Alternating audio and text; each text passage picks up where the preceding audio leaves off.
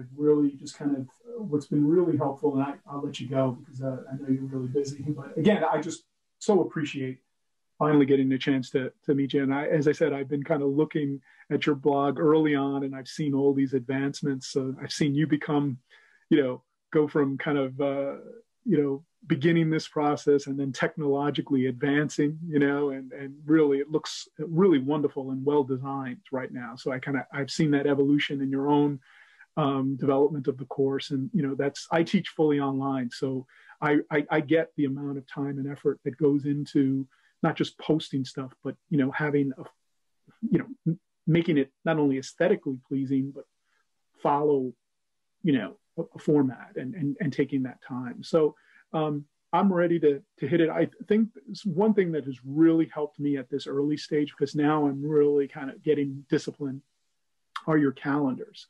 So I've kind of begun with the four month, and I've just started that last week. And uh, you know, obviously I'm in the course now, so I've started to kind of take a look at your. You know, I'm going through the lessons and stuff like that. And uh, for me, it's not the uh, overall complexity of the exam. But I'll be honest, what what I think has stressed me out is just the the uh, the timing, the timing. And I've been, you know, and I really love your approach of like, you know, everyone else is saying take the diagnostic, take the diagnostic, and I'm like, I'm not so ready. I'm not ready yet for that because I, I haven't really acquired those kind of preliminary basic skills to kind of even begin timing. So I kind of like your approach of kind of, you know, doing untimed you know practicing the techniques and then getting to a point of feeling more comfortable and time is still going to be you know a, an added pressure but I, I, you know you need to understand the exam and its nuances first i think like you say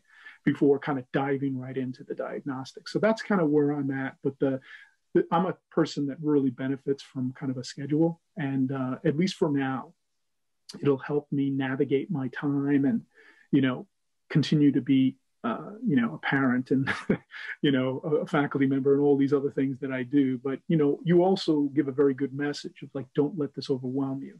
So that's, you know, I'm trying to take all these messages and kind of put them in a way, but yet don't underestimate the exam. You know what I mean? And so that's, I'm just ready to go and, and, and ready to, uh, to take it on and, and, uh, you know, be incremental, but focused at the same time. So that's where I'm at.